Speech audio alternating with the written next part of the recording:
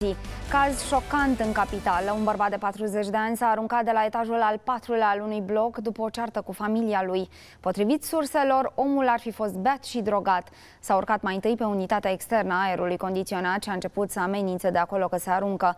Polițiștii au reușit să-l convingă să intre înapoi în apartament, dar câteva ore mai târziu a spart geamul și s-a sinucis.